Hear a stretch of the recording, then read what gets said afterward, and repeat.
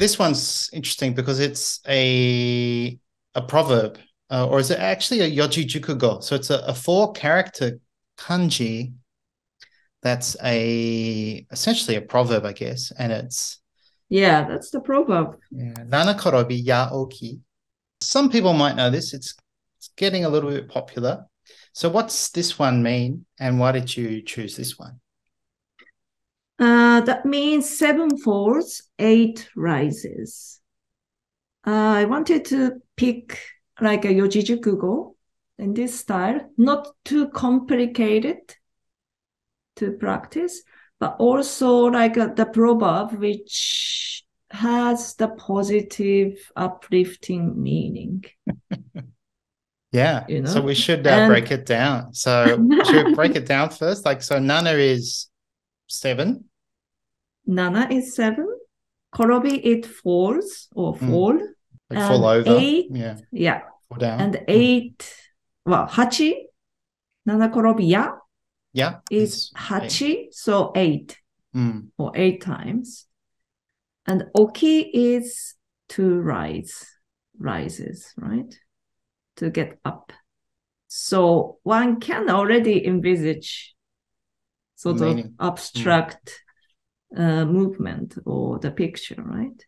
So that means we will experience a lot of ups and downs in life, but we'll be fine in the end. It's more like a describes to accept the taku and our difficulties again And and again. again. Yeah. Yeah. Does, so does it also mean to have like persistence and not give up to keep keep trying, or is that a Western interpretation? I think it's more like a keep trying, but more like a until one overcome. I understand that it's not necessary that visibly you have a result. hmm It's more like uh, the inner overcome of difficulties. That's I would say. So it's not uh, always visible physical Okay. overcome as such. So it's not always used in relation to one specific goal.